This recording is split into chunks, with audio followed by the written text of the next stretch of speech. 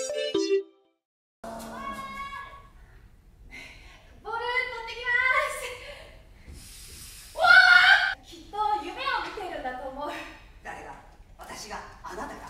私があくまで主人公は自分じゃねなんとかルをやってる途中で穴に落ちたわけだはいで気がついたらこの世界にそのなんとかルっていうのはそんなに危険なの？ソフトボールえ覚えない覚えないもちろんもちろん我々の娘が連れてきたお客様じゃないわかるよあの手だろ？ベーグルハンドとでも言おうなぜだ？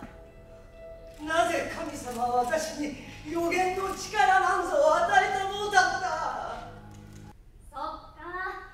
でも教えてくれないんでしょ？あ教えない。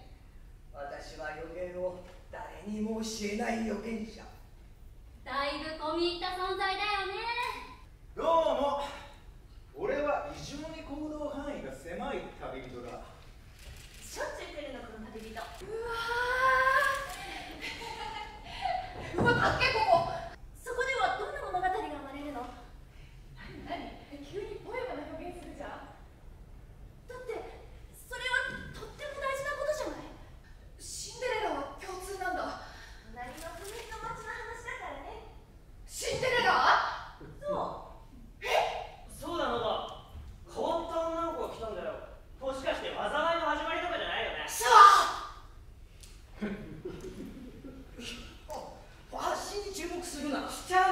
者の表情から予言を読み取ろうとするな。だから来ちゃうって。ノーバって予言者がいるんだけどクロエが生まれた時に予言したんだよ。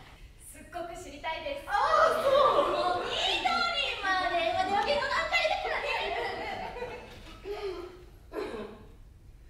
昔々スり目が丘という町にそれはそれは可愛くて性格のいい